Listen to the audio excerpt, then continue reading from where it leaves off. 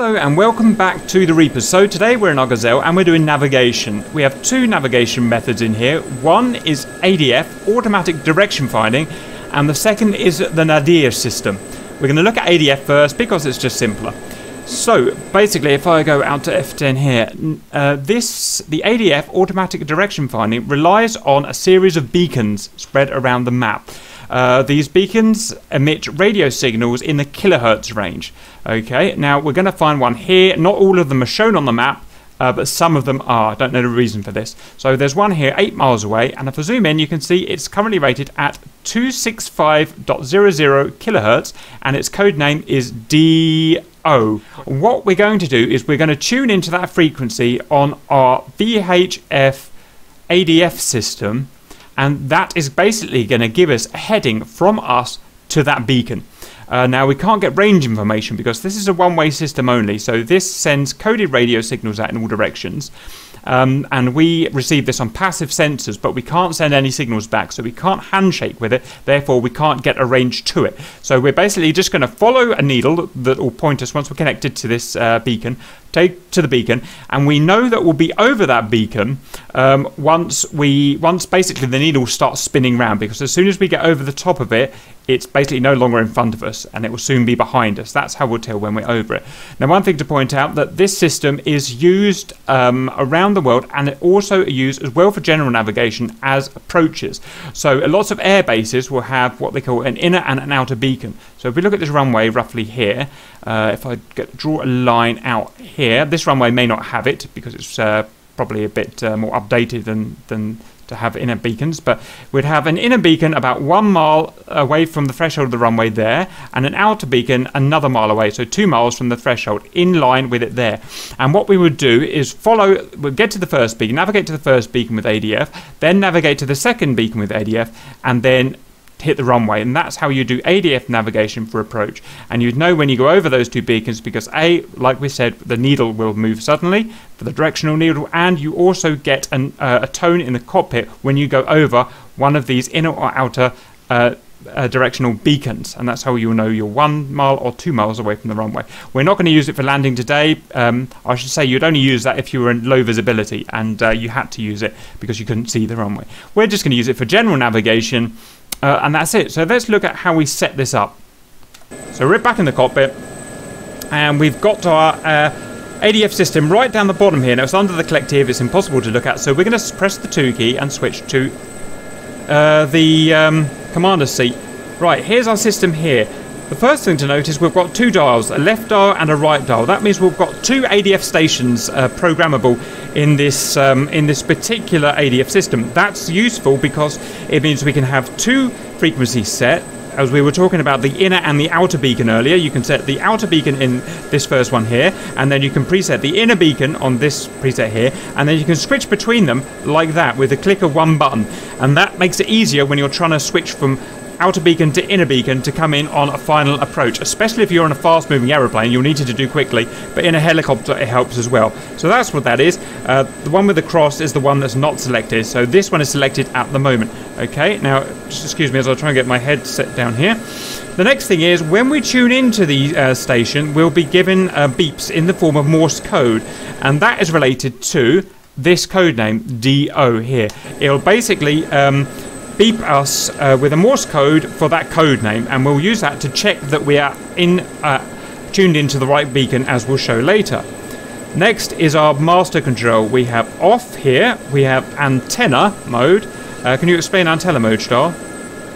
Um, yeah, first of all, it will override your tone switch, so even if it's on, you will always hear the Morse code. And generally speaking, this would just be used to be able to more clearly listen to the Morse code but you will not get any uh, any heading information as long as you're in this. Roger. And then we've got ADF, which includes the heading information, which we'll be using, and we've got test for test. So we're going to go back to ADF. Now there is also a knob on top of this, so I'm using left and mouse right button on the base of this uh, controller to do that. Then we've got a, a, volume control button at the top here, and you'll use your mouse scroll to change that. So I'm going to change it clockwise as much as I can to make the signal nice and loud. Okay. Next, we've got the frequency controllers. That is here. It's a three-stage pyramid, and it's incredibly difficult to use. You have to hover over the correct pyramid to change the correct digit. So we're going to try doing that. Now we looked at our beacon and it's 265. So we're going to hover over the base of the pyramid and change, use the mouse scroll wheel to go to 2. Then we're going to go to the next pyramid and go to 6. Then the next pyramid. Really hard to do. Tell you what, I'm just going to change it like this. And we've got 265. Got the right one selected. Uh, so we're all good. We're in ADF. So what I'm not hearing is my um, uh, Morse code. Why am I not hearing my Morse code? Is it because we've got no line of sight? Uh, it could be uh, if you're too low, but I do currently hear it, so maybe just try uh, turning it louder. Or is your tone on off? Oh, silly me. Yeah, I accidentally forgot to set my tone on. So to basically to hear the tone of the Morse code, you need to set the tone switch here on. I forgot to do that. So on, and now you can hear the Morse code. Right. So let's work with the Morse code. So we're going to go into Google now. In fact, can you do it, Stahl? Can you go into Google and get a Morse code translator for DO? Alright, so D would be long, short, short. And O is long, long, long. Right, so we're looking for long, short, short, long, long, long. Right, now let's listen.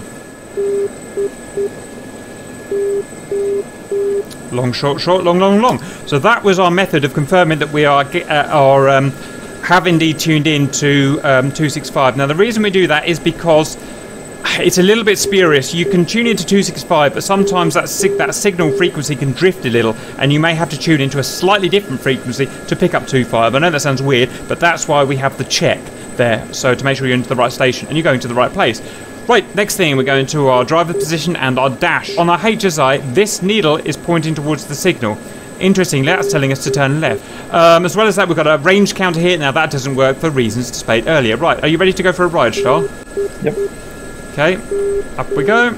So I'm going to turn left onto the signal. So I'm chasing my HSI signal. So I've got the HSI signal there pointed at the 12 o'clock. That needle there pointed at the 12. You can see that we do have a range here, uh, but it's completely irrelevant. It's, it's not relevant to what we're um, what we're doing at the moment. Uh, the range information actually comes from the nadir. If you turn it off, it should vanish as well. So it's ever so slightly off to our right now. So what we're trying to do, obviously, is get that needle, the ADF needle, into the 12 o'clock position. Right, and what we should see when we get there is that this beacon should be right in the end, uh, right at the end of Dubai International Runway. So we'll see how that pans out if we've done it right.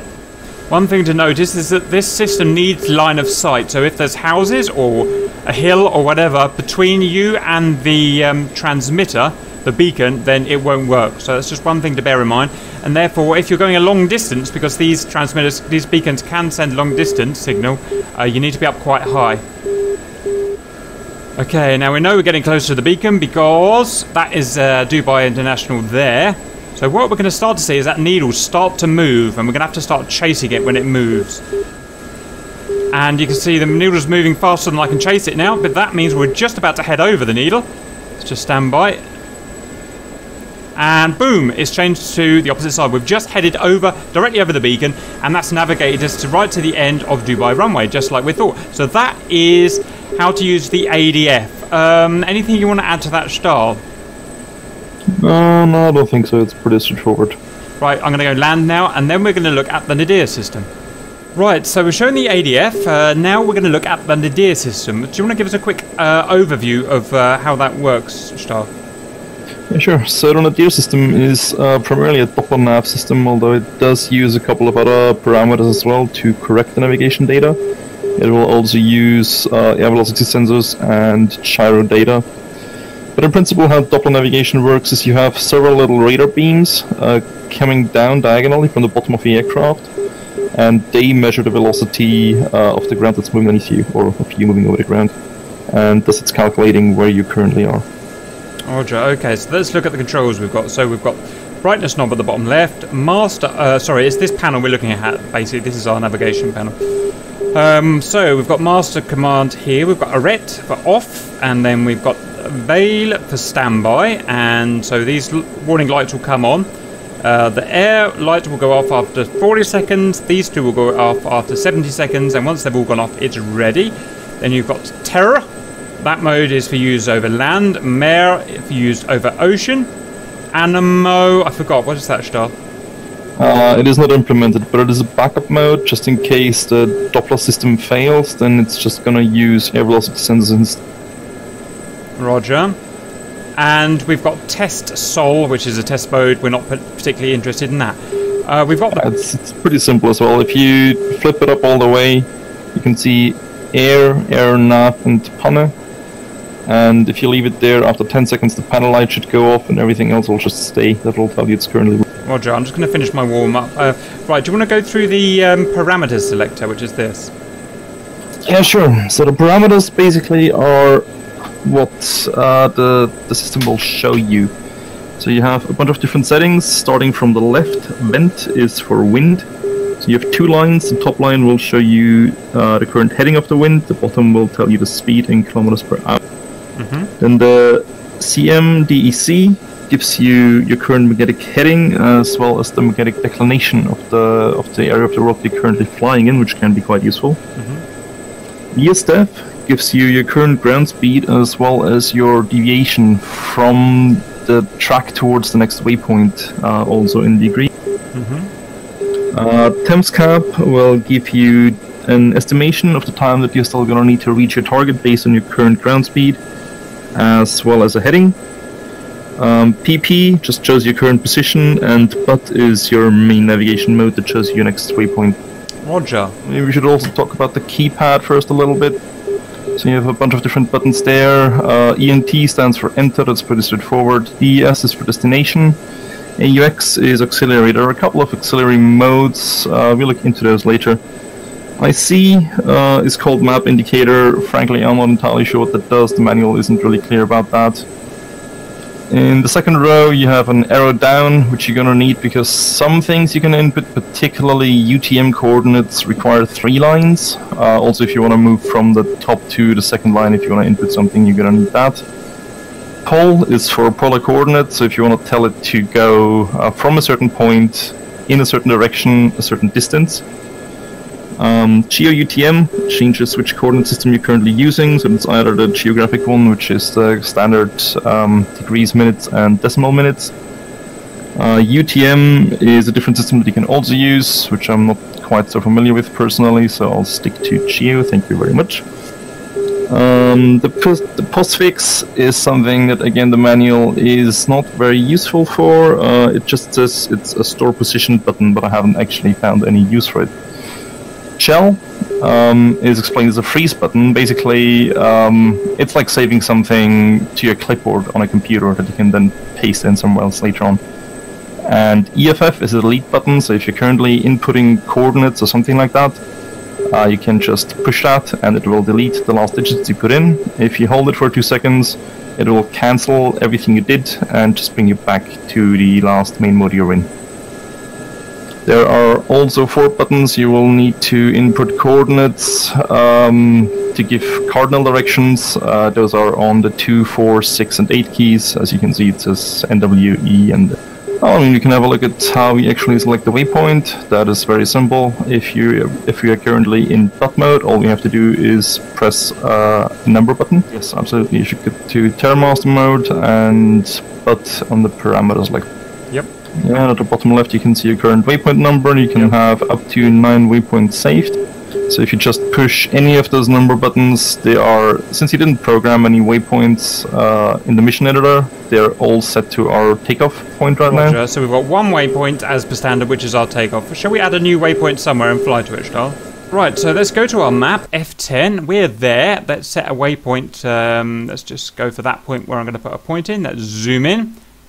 Okay, so if I hover the mouse cursor over that point and I look up and left, we can see we get northing and easting information. Well, that isn't how the nadir works. So what we're going to do is press left, alt, and Y. And we can see we've got a new set of coordinates. It doesn't want that either, so left, alt, and Y again. And we've got the type of coordinates that we want. What are these called, Stahl? Uh, these are all just geographic coordinates. It's just a different format. You have decimal minutes instead of minutes and seconds. Roger. So I'm going to type my, my, write my northern down two five one four three six six and easting five five two six and 216. So we could have done this in the mission editor and set it up, but we're showing how to do it in the cockpit basically, okay? Right, Stahl, I'm ready to enter my new waypoint. Please tell me how. So you want to go to the BUT mode, Yes. and you want to choose your your preferred coordinate uh, system by pressing the Geo or UTM button. In this case, we're already at the correct one. yep. Um, now you press the waypoint that you would like to set. So let's say we're gonna program waypoint two, and Two. you press enter. Enter. Now you will see that the latitude will start to blink. Yep. You will have to delete all of those coordinates that are already in there. If you press it often enough, you can also delete the N, which stands for northing. Right, I'm now going to type in our new desired course: two, five, one, four, three, six. Oh, it won't let me take. Uh, it won't let me type the last no. digit. That's okay. It's just uh, one. Does, Roger. How do I get down to the next number? It's the down arrow. uh, you, exactly. Right, I'm going to delete that lot. In fact, I'll leave the five five. I'm going to type in two six and two. Right. So how do I? One, one, th- one, one thing to note: if you if you don't have your if you don't have the northing or easting already set because you deleted it, you will have to push the two, four, six, or eight key that's relevant for whatever you're currently inputting. Roger. So I've put the northing and the easting. How do I accept it? Enter. Yep. You know, right, we've now got a waypoint two. Um, so remind me how to switch between waypoints again. Do I just press one or um If you're currently in BUT mode, yes, you just press the, the number. Okay, so that's waypoint one, waypoint two. Okay, So waypoint two, and now let's look at the instrumentation we're going to be using to follow uh, that waypoint. So we've got our HSI here, and it, the fat needle is going to point towards our waypoint. Simple as that. So we need to orientate ourselves so that fat needle is uh, reaching the 12 o'clock position. Then we're going the right way, and we've got the distance here, and it's metric. That's 4.3 kilometers, not 43 kilometers. Um, so, are you ready to go and fly there, Star? Yeah, sure. Uh, one last thing to notice, uh, to mention maybe. Um, if you look at the Nadir and you press Geo UTM to change coordinate system, Yes. and you press Enter to go into the editing mode, Yes. if you don't hit the down button twice, you will see a new two-digit Yes. code that you didn't see before. Yes. That is basically a third line that you will have to input just as all the other stuff Is that Uh, if elevation? you input. No, that's not an elevation. That's an area code. So the UTM basically just splits everything, splits the entire world map uh, up in squares. I think they're like six degree squares or something. Um, and this is the square code, and the other coordinates you input are uh, within that square. exactly. Do we need to do this even though we're typing in geo mode? No, we don't. Okay. It's just for people who prefer the UTM coordinates. That is something to mention. Roger. Right, so let's take off and go and fly this thing, Star. Right, turning on 080, we Off we go. Okay, caps on course. And what you can see is that even though we're following our Nadir line, our ADF line from earlier is still tracking our um, earlier beacon. So you can have them both operating at the same time if you wanted to do that for any reason. Now, let's, uh, when I get to this waypoint Stahl, and let's say I had a third waypoint selected, would it automatically switch me to that third waypoint, or would I have to switch it manually? Uh, I believe you'd have to switch it manually. Roger. So what we'll do is we'll get there, and then we'll switch to waypoint 1 just to show it switching. Right, I'm about to hit my, my waypoint 2, point 3, 200 meters, 100 meters, and that's it, zero. We've hit the waypoint. Okay, and now if we wanted to move our next to uh, another waypoint, we would just click 1 in BUT mode. Sorry. There. And now it's taking us one 12.7 kilometers in that direction for uh, for waypoint 1. Uh, all pretty simple to be honest, Stahl. Is um, anything else you want to do on that? Yeah, there are quite a few more things you can do. First of all, you, you can have a look at all the parameters that you can actually have displayed, since we already talked, since we only talked about theoretically. So Roger, tell you what, Stahl, just to make it easy to concentrate, I'm going to go land, so just give me a second. Okay. I'm down, Stahl. Right. give me a second, I'm landing myself with that. Roger. If you turn our parameter selector all the way to the left towards vent, Yes. you can see we currently have zero wind, um, so we're also not getting heading obviously. Uh, top line would be the heading in degrees, bottom line would be wind speed in kpm. If you move it to the second position, uh, you get the magnetic heading to your current waypoint. Mm-hmm. as well as the current magnetic deviation or um, declination, as it's called. Understood. If you move it over to VS there, um, you get your current ground speed Mm-hmm. as well as your deviation in degrees from the current waypoint, uh, which is going a bit haywire if you're in the ground. Yeah, yeah. But if you wanna if you wanna take off a meter or so and just turn a little bit, just use your rudder. You'll see as soon as you turn towards the waypoint, it will go to zero. Yep, I see that. So I'm pointed at the waypoint there. Okay. Oops. Ugh. We landed. It's good. It's good. Yes, Charles. What next? Okay, the next one is TPS cap. Um, if you turn towards that, you'll get the heading towards the next waypoint as well as the estimated time towards the waypoint. Since you're currently on the ground 999. moving, it will show all nines. Is that So seconds? that is, uh, that is minutes. Roger. Uh, then, if you switch it to PP, that's just the current own coordinates where you currently are. Roger. And again, BUT mode will just show the coordinates of the waypoint as well as the waypoint number you currently. Okay, that was all pretty simple to be honest. Alright, so for example, if you feel like it, you can uh, set up a waypoint where you currently are, Yep. so you can find your way back. So you would do that by switching to PP parameter mode, Yes. then pressing the shell button on the keyboard. Roger. So that, that basically copies it to clipboard, so to speak. Yep. So you move the parameter thing back to BUT. Yep. Waypoint three. press the waypoint button exactly, and then just enter. And now, if you switch between PP and BUT parameter, you should see it's exactly the same chord. Yay. So waypoints. We've got waypoint one, which is the original base. Waypoint two, what we set, and waypoint three is where we are now. Very good. You can also copy our waypoints if you feel like it. So if I wanted to copy waypoint 3 onto waypoint 4 now, I would go to button, press 3, press shell again to copy stuff, uh, press 4 and press enter. And now if you switch between 3 and 4, you will see that those have now become the same. So right. Okay. So waypoint three. I'm going to go gel to copy that. I'm going to go waypoint four. Oh, enter. Waypoint four. Enter. Enter is how you copy. Yeah, that's right, isn't it? And now if you compare the coordinates of waypoints 3 and 4, they should be the same. They're literally a tiny dot out, but basically I think that worked. Yeah, Okay. that, that worked. It was a bit I was a bit finicky. It's my first time using it, but okay. So that's how you copy new waypoints uh, to new slots. Uh, one thing that would be even more interesting if you're talking to, for example, a ground commander who has artillery or maybe something like an A10 driver, you can actually uh, set a waypoint using polar coordinates. So if you go to your to your camera view, uh, the camera will give you a heading towards the target you're currently looking at, as well as you as well as if you laser it a distance. So, if, for example, I wanted to say um, get a waypoint five kilometers at a heading of 343 from my current position, I would go to the BUT mode, press pole zero, and then the waypoint number. All zero four. Right. I've got two numbers, but yep. Then you press enter, and you can start editing those numbers. So I want a bearing of three four three down, and I want a distance of. Is this in meters? This is in meters. So I want five thousand. Yeah. Mm-hmm. 5,000. Enter.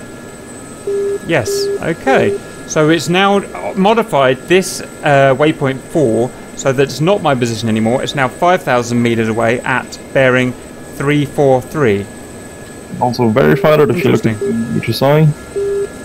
Very good. Uh, so this would be very useful working together with again artillery, A10s, all that kind of stuff.